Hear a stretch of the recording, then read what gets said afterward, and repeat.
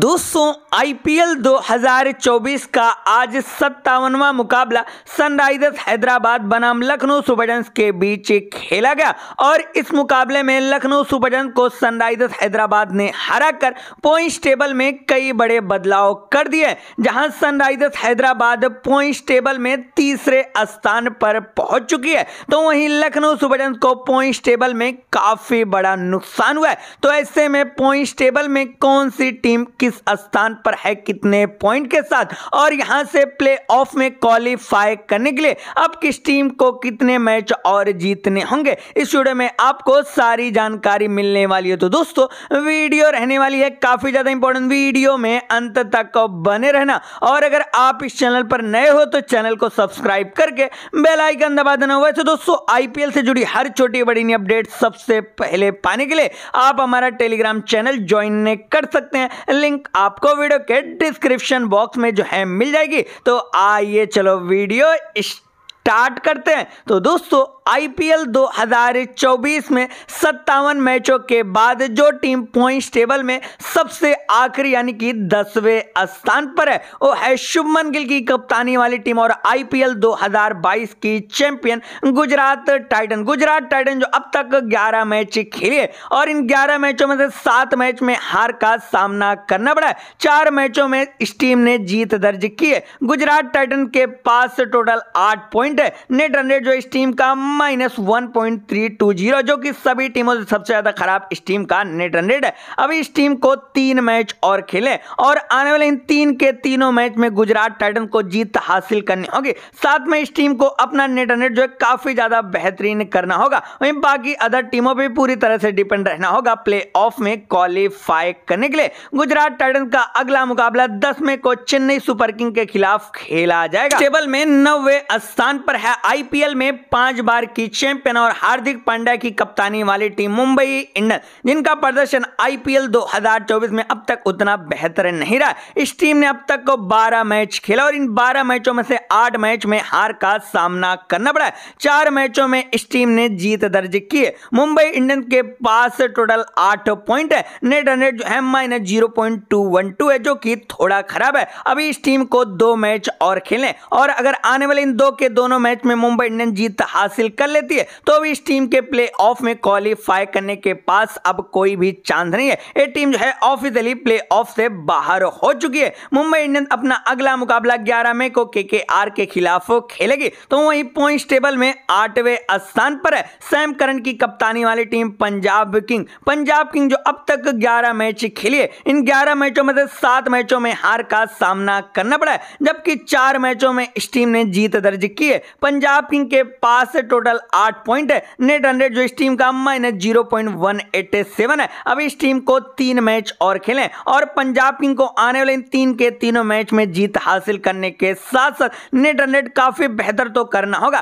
साथ में इस टीम को बाकी अदर टीमों पर पूरी तरह से निर्भर रहना होगा प्ले में क्वालिफाई करने के लिए। वहीं पंजाब किंग्स अपना अगला मुकाबला कल यानी नौ में को रॉयल चैलेंजर्स बेंगलुरु के खिलाफ खेलेगी। पॉइंट टेबल में सातवें स्थान पर जो टीम है, वो है Royal Challengers Bengaluru. Faf du Plessis की कप्तानी वाली टीम रॉयल चैलेंजर्स बेंगलुरु, जो अब तक 11 मैच ही खेली है। और इन 11 मैचों में से सात मैच में हार का सामना करना पड़ा है, जबकि चार मैचों में इस टीम ने जीत दर्ज की है। रॉयल चैलेंजर्स बेंगलुरु के पास टोटल आठ पॉइंट है। नेट रन जो इस टीम का माइनस है, जो कि पंजाब की मुंबई इंडियन और गुजरात टाइटन से काफ़ी ज़्यादा बेहतर है। अभी इस टीम को तीन मुकाबले और खेले और इन तीन के तीनों मुकाबले में रॉयल चैलेंजर्स बेंगलुरु को जीत हासिल करने के साथ साथ बाकी अदर टीमों पे पूरी तरह से निर्भर रहना होगा। प्ले ऑफ़ में क्वालिफाई करने के लिए रॉयल चैलेंजर बेंगलुरु अपना अगला मुकाबला कल यानी नौ मई को पंजाब किंग के खिलाफ खेलने वाली है। और यह मुकाबला पंजाब किंग्स और रॉयल चैलेंजर बेंगलुरु दोनों ही टीमों के लिए काफ़ी ज़्यादा महत्वपूर्ण मुकाबला रहने वाला है। जो भी टीम यह मुकाबला हारेगी, वो आईपीएल 2024 के प्ले ऑफ़ से बाहर हो जाएगी।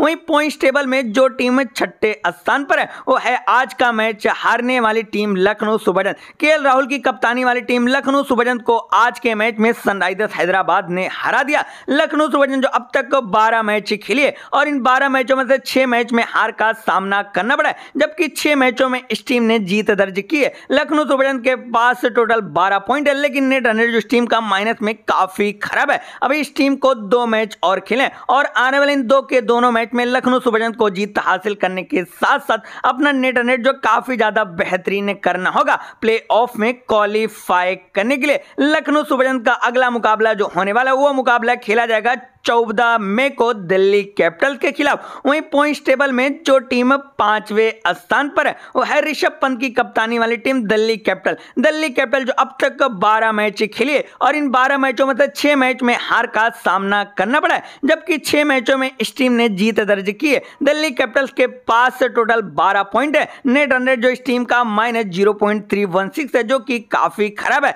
अभी इस टीम को दो मैच और खेले और इन दो के दोनों मैच में दिल्ली कैपिटल को जीत जीत हासिल करनी होगी। साथ में इस टीम को अपना नेट नेट जो है काफ़ी ज़्यादा बेहतर करना होगा। प्ले ऑफ़ में जगह बनाने के लिए वहीं दिल्ली कैपिटल्स अगला मुकाबला जो होने वाला है, वो मुकाबला खेला जाएगा रॉयल चैलेंजर्स बेंगलुरु के खिलाफ बारह मई को। और यह मुकाबला दोनों ही टीमों के लिए काफ़ी ज़्यादा महत्वपूर्ण मुकाबला रहने वाला है, जबकि पॉइंट टेबल में जो टीम चौथे स्थान पर है, वो है Chennai Super King. Chennai Super King IPL 2023 की चैंपियन, जो अब तक 11 मैच खेली है और इन 11 मैचों में से पाँच मैच में हार का सामना करना पड़ा है, जबकि छह मैचों में इस टीम ने जीत दर्ज की है। चेन्नई सुपर किंग के पास टोटल 12 पॉइंट है। नेट रन जो इस टीम का plus zero point seven zero zero जो कि काफ़ी ज़्यादा बेहतरीन है। अभी इस टीम को बाकी बचे तीन मैचों में से दो मैच में कम से कम और जीत हासिल करनी होगी चेन्नई सुपर किंग को प्ले में क्वालिफाई करने के लिए। अगर चेन्नई सुपर किंग अपने सभी मैचों में जीत दर्ज कर लेती है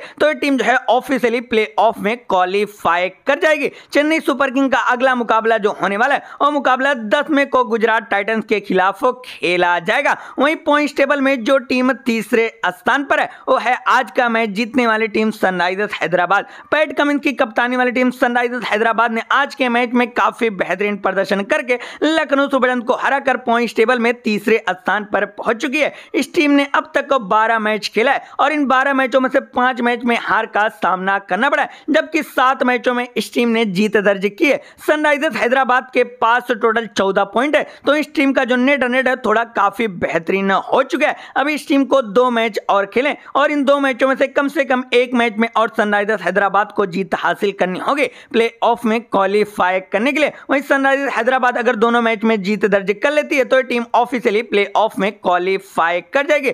सनराइजर्स हैदराबाद का अगला मुकाबला काफ़ी ज़्यादा इंपॉर्टेंस रहने वाला है। तो वही पॉइंट टेबल में जो टीम दूसरे स्थान पर है, वो है राजस्थान रॉयल। संजू सैमसन की कप्तानी वाली टीम राजस्थान रॉयल, जो अब तक 11 मैच खेले और इन 11 मैचों में से मात्र तीन मैच में हार का सामना करना पड़ा है। आठ मैचों में इस टीम ने जीत दर्ज की है। राजस्थान रॉयल्स के पास टोटल 16 पॉइंट है। इस टीम का जो नेट रन प्लस ज़ीरो है, जो कि काफ़ी ज़्यादा बेहतर है। अब इस टीम को तीन मैच और खेलें और ये टीम जो है ऑलमोस्ट प्ले ऑफ़ में क्वालिफाई कर लिए अब इन तीन मैचों में से कम से कम एक मैच में और ये टीम जीत दर्ज करती है। तो ऑफिशियली प्ले ऑफ़ में क्वालिफाई कर जाएगी। राजस्थान रॉयल्स का अगला मुकाबला जो खेला जाएगा, वो मुकाबला बारह में को चेन्नई सुपर किंग के पॉइंट टेबल में सबसे पहले स्थान पर जो टीम है, वो है Kolkata Knight Riders Kolkata Knight Riders जो अब तक ग्यारह मैच ही खेली है, और इन ग्यारह मैचों में से सिर्फ़ तीन मैचों में हार का सामना करना पड़ा है। आठ मैचों में कोलकाता नाइट राइडर्स ने जीत दर्ज की है। इस टीम के पास जहाँ टोटल सोलह पॉइंट है, वहीं नेट रन जो है, कोलकाता नाइट राइडर्स का plus one point four five three है,